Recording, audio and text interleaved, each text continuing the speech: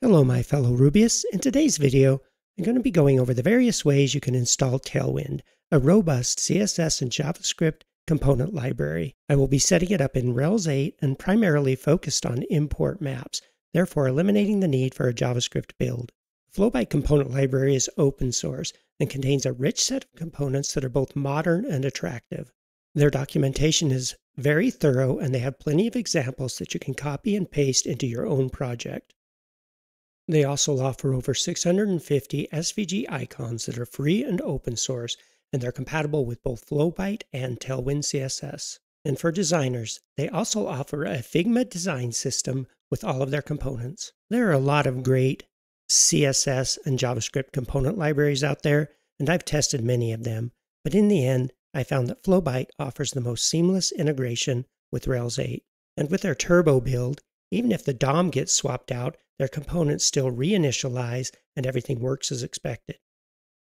So I'm going to start by kicking off a new project specifying Tailwind as the CSS library.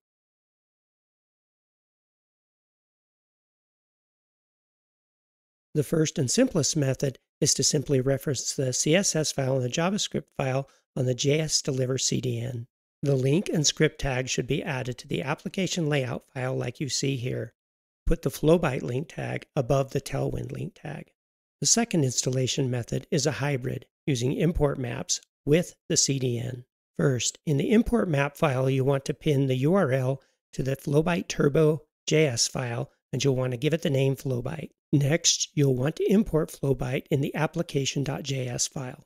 And finally, you'll want to add the Flowbite link tag to the application layout file above the Tailwind link tag. In case you were wondering, if you put the Flowbite style sheet link tag below the Tailwind link tag, you're going to run into problems when you try to use Tailwind responsive utility classes. The final installation method is to download the CSS and JavaScript files and host them with your project. First, you'll need to create an Assets Style Sheets directory under the vendor directory. Next, you'll need to download the CSS file and put it in the new Style Sheets directory I'm using curl to handle this.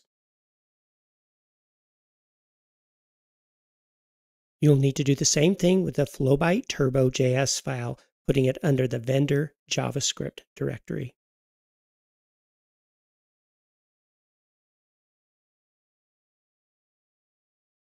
Now, in the import map configuration file, you'll need to pin the file that you don't need to specify the path, and again, you'll want to name it Flowbite.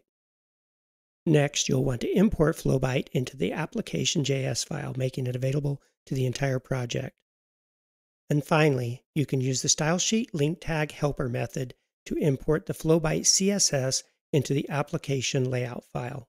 So when should you use each of these installation methods? Well, the first one I typically use for rapid prototyping or testing of libraries. One of the benefits of import maps, even when used with a CDN, is that it allows you to import partial modules or submodules for projects that support it, such as Lodash.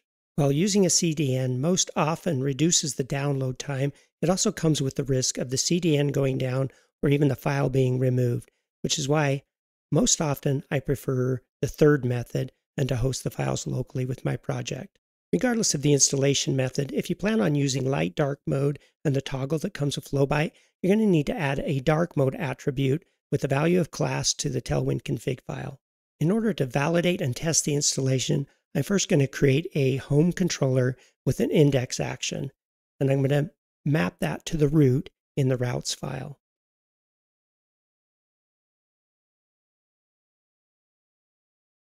And now I'll start the Rails server and visit the application in a browser. If the installation was a success, you should see the CSS file and the JavaScript file under the Sources tab on Chrome Developer Tools. In my case, it's under localhost because I installed the files locally. Yours may be under a CDN if you chose to use one.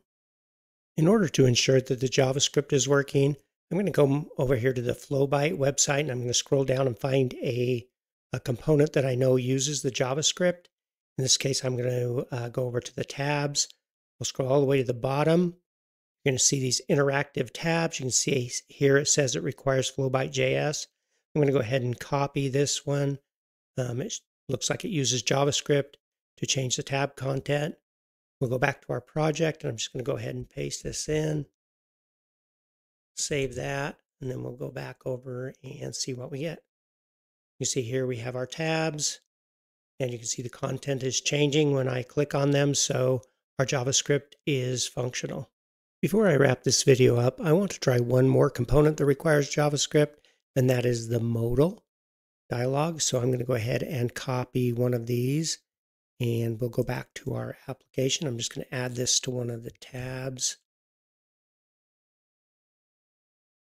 And then refresh the page. And then I should see on this last tab, this toggle modal button.